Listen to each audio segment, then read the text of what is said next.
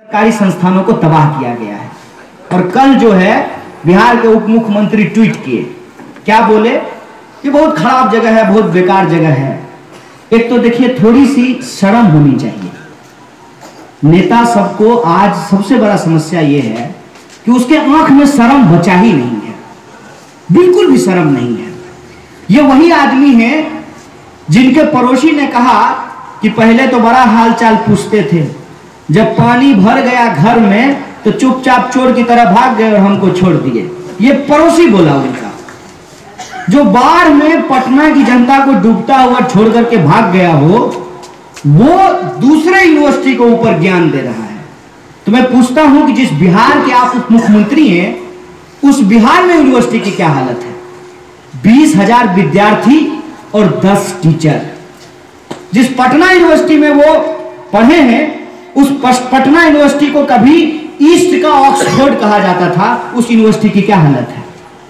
आप दूसरे यूनिवर्सिटियों में घूम करके देख लीजिए कि तीन साल का बीए का कोर्स पाँच साल में लोगों को डिग्री दी जाती है।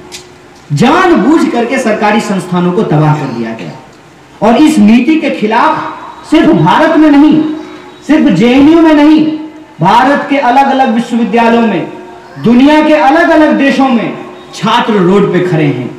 शिक्षा के सवाल को लेकर के जहाँ राजनीतिक दल अपोजिशन की भूमिका निभाने के लिए तैयार नहीं है, वहाँ विद्यार्थियों ने अपोजिशन का भूमिका निभाने का जिम्मेवारी निभाया है। इसीलिए मैं आप तमाम लोगों से यह आग्रह करना चाहता हूँ कि यह जो हमारी दिन प्रतिदिन की समस्याएँ हैं, जो शिक्षा का सवाल है, जो रोज़गार का सवाल है, जो किसानों के फ़सल के दाम का सवाल है, नौजवानों के काम का सवाल है हिंदू या मुसलमान हो, उसके आत्मसम्मान का सवाल है। इस पर हमको एकजुट होने की ज़रूरत है। अच्छा सरकारी विश्वविद्यालय बचा है, आज उसको समाप्त करने की कोशिश की जा रही है। और क्या माहौल बनाया जा रहा है? क्या बोला जा रहा है? आप लोग टीवी पे देखे होंगे कि जेएनयू के भीतर किस बेरहमी से विद्यार्थियों को पीटा गया है। क्या मांग रहे हैं बेचारा? कह रहे हैं कि यह जो बढ़ी हुई फ़ीस है, इसको वापस ले लीजिए। तो क्या माहौल बनाया कि कहाँ ज़्यादा बढ़ाया है? दस रुपया से तीन सौ रुपया बढ़ाया है। यह झूठ है। यह बेमानी है। मैं उस यूनिवर्सिटी में पढ़ करके आया हूँ पीएचडी करके। मैं आपको बताता हूँ। अभी हर स्टूडेंट को प्रति माह तीन हज़ार बत्तीस सौ रुपया खर्च होता है। इसके बाद जो फ़ीस बढ़ाई गई है, उसमें सात हज़ार से लेकर के आठ हज़ार रुपया उनको प्रति माह खर्च करना पड़ेगा। किसान मजदूर छै कि नहीं? ठेला रिक्शा चलने वाले लोग छै कि नहीं? ओकर बच्चा अगर टैलेंटेड हुए, ओकरा मेरिट हुए, खैरात में तो किसी का एडमिशन होता नहीं है। ऑल इंडिया एंट्रेंस एग्जामिनेशन होता है। उस एग्जामिनेशन को जो कंपीट करता है, उसके बाद उसका उसमें एडमिशन होता है। और जो एडमिशन होगा तो जो परिवार की मासिक आमदनी दस हज़ार रुपया है, वो एक बच्चा पे सात से आठ हज़ार रुपया कैसे खर्च करेगा? स्वाभाविक रूप से वो नहीं पढ़ा पाएगा। तो प्राइवेट यूनिवर्सिटी से आप पहले ही गरीबों को बाहर कर चुके हैं। क्योंकि वहाँ पीएचडी करने में दस लाख रुपया लगता है। सरकारी यूनिवर्सिटी से जो बच्चे पीएचडी कर रहे हैं, आप उसको भी उसका पढ़ने का अधिकार उससे छीन लेना चाहते हैं। तर्क क्या दे रहे हैं?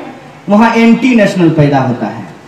एक बात सोच करके बताइए कि अगर उस यूनिवर्सिटी में एंटी नेशनल पैदा होता है तो हर साल राष्ट्रपति उस यूनिवर्सिटी को बेस्ट यूनिवर्सिटी का अवार्ड क्यों देते हैं? एंटी नेशनल पैदा करने के लिए।